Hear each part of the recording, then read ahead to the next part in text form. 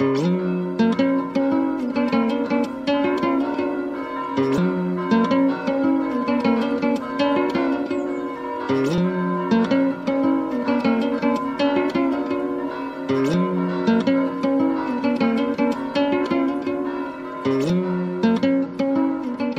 partir de allí todo fue confusión.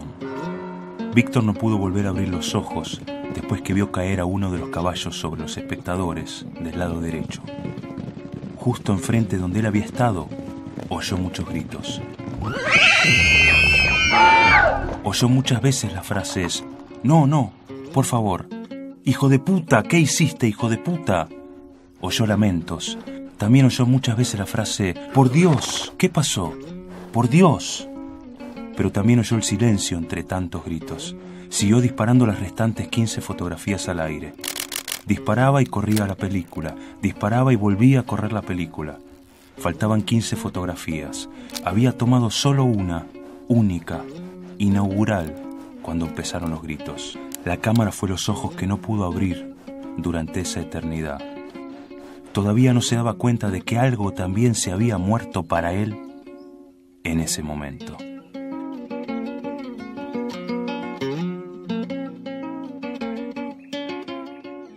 No entendía lo que decían los cuadritos. En ese momento casi ni sabía leer. Solo me interesaban las imágenes. Fascinada imaginaba el amor y el deseo de la protagonista. Yo besaba la revista con la misma intensidad que ella ponía para besar al primo que había llegado del campo, aunque no sabía que era su primo. Para ser sincera, tendría que reconocer que yo besaba al primo tratando de sentir lo mismo que la protagonista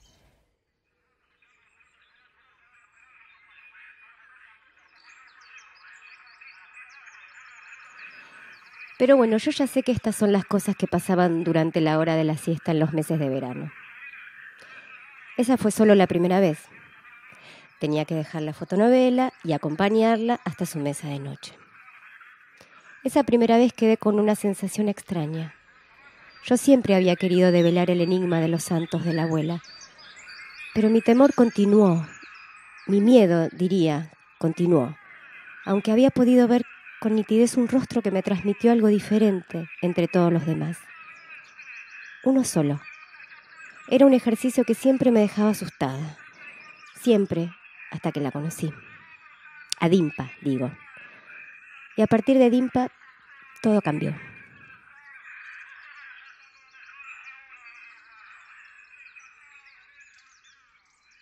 Pero es raro ir al río en un día como este. ¿Te parece raro porque en lugar de besar un papel marrón con una foto, vas a poder besar la boca de Felipe? La boca entera de Felipe. Toda la boca bien adentro. Porque en lugar de apretar las piernas vas a dejar que te toque entre las piernas. Porque vas a poder mostrarle tus tetas igual como te las miras en el espejo del baño masajeándotelas. Porque vas a poder... Basta, Dimpa. No me hables más porque vamos a pelearnos. Dimpa, no me digas esas cosas. Como vos quieras.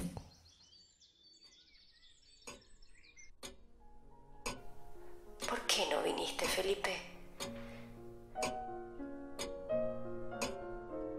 Siempre el silencio es una gran ayuda. ¿Siempre? Siempre me gustó la palabra siempre. ¿A vos? Sí, puede ser una linda palabra, pero... Es lo que pasa con la música. Hay composiciones que siempre comienzan con silencio. Y esos silencios son determinantes para la melodía que va a desarrollarse después. Ahora entiendo un poco menos. es así. Lo que no está, está. Y tiene un peso, un valor. Es como el subsidio. Porque... ¿El ¿Subsidio qué? Olvídate. Te decía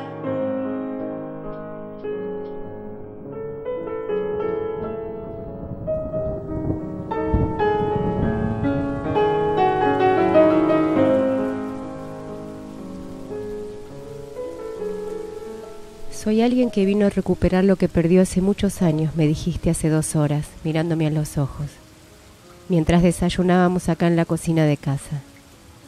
Alguien que vino a recuperar lo que perdió hace muchos años. Y yo no quise volver a preguntarte qué habías perdido. Tampoco supe qué contestarte, más que con la misma frase, en el momento en que quisiste saber del río, de la caminata bajo la lluvia de anoche. Si total es verdad. Yo también necesito recuperar lo que perdí hace tanto tiempo, a pesar de que muchas veces me parece imposible. Pero yo no entiendo lo que me pasó, porque sentí que te conocía desde antes, desde entonces, desde siempre. sí, siempre es una palabra muy linda, Víctor como te conté esta mañana mientras amanecíamos juntos por primera vez. Después de que habíamos ido caminando hasta el río, como te pedí, a pesar de la lluvia, a pesar de que casi no nos conocíamos, porque el sexo también fue parte de esa lluvia. A pesar de que estando tan juntos también nos sentimos muy solos.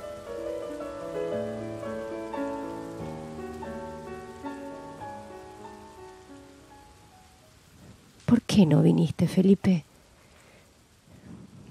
A veces todavía sigo esperándote en la ribera del río, aunque no sepas que nunca más volví a pisarla esta noche, cuando fui con Víctor, y no sé por qué.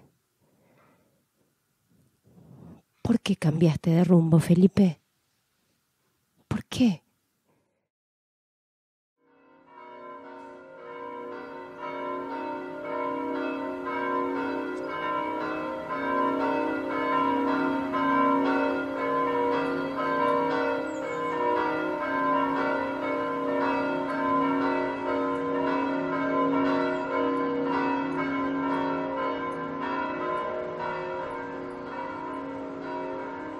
Y se sentará en el sillón de tres cuerpos con la espalda en el apoyabrazos, subiendo las dos piernas para cruzarlas.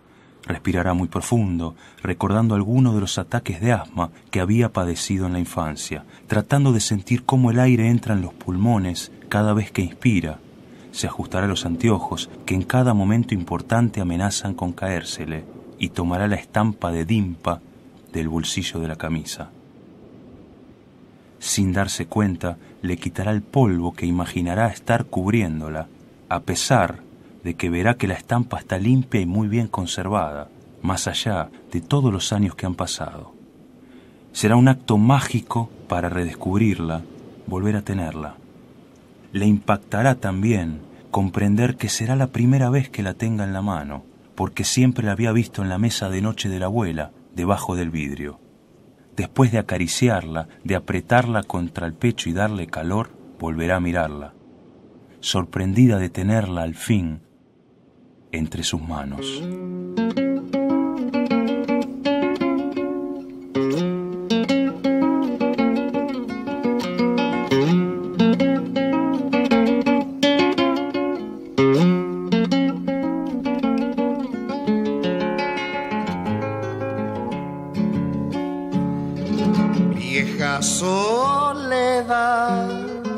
El pasto le parecerá muy desprolijo, reseco, marrón en lugar de verde, mucha basura, algunas botellas rotas de bebidas gaseosas, muchas marquillas de cigarrillos y cajas de fósforos, algunos corchos, hojas de diarios abolladas, preservativos medio podridos cubiertos de hormigas, curitas con restos de sangre, latas oxidadas de sardinas en conserva, restos de pan seco, cáscaras de bananas abiertas en cuatro, servilletas de papel resecas.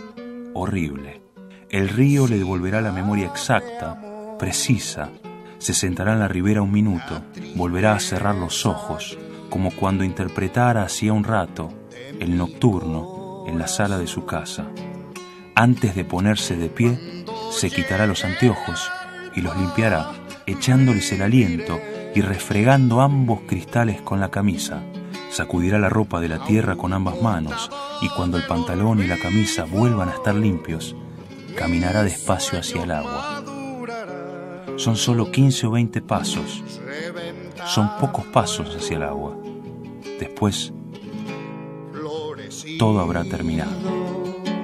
¿Por qué no viniste, Felipe? Cuando llegue el alba, viviré.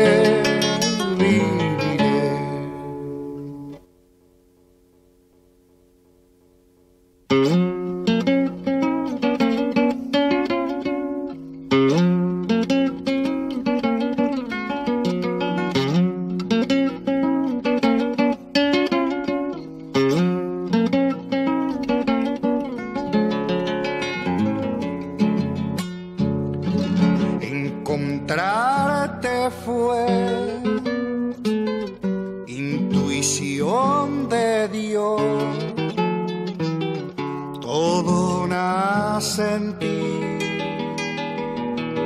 como nací yo. Cuando llegue el alba, viviré, viviré. Tus palabras son fresco manantial, sintiendo tu voz, aprendí a cantar.